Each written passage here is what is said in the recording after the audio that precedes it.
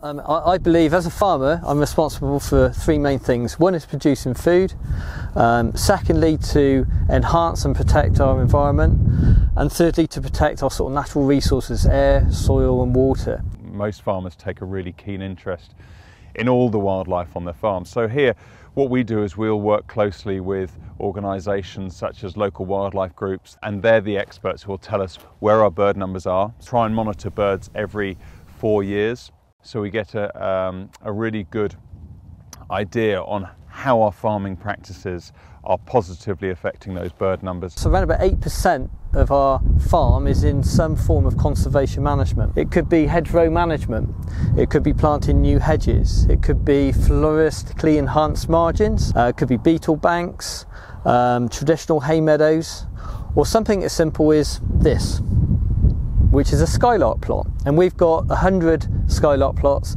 dotted around different fields around the farm. And what, what that allows the ground nesting birds is to have an area that they can sort of forage from. And our skylark numbers over the last 10 years have, have uh, tripled in, in numbers, which is fantastic.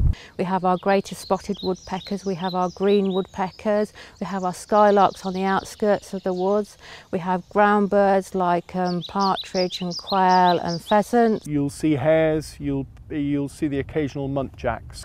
Uh, we, we cut, our, cut our hedges once every three years, and that's done between September and the end of February before the birds start to nest. And what we'll often do is we'll cut one side of a hedge and leave the other side to grow so that there's plenty of habitat for the birds to still make their nests and insects and invertebrates and everything else that, that benefit from um, the hedgerows. The margins, which are the bits that we have that we plant between the hedge and the crop.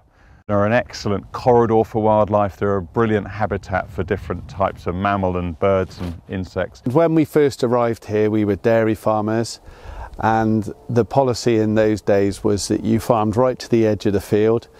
And in this field, for example, which was an old traditional orchard, the trees were taken out so that we would have room to graze the cattle.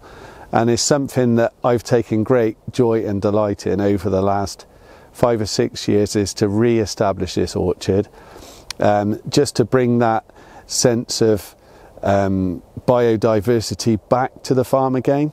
Um, and and I think sometimes we it's communicated that farmers are destroying the countryside. I actually think that we add in a lot back to the countryside, and I'm really proud of this farm.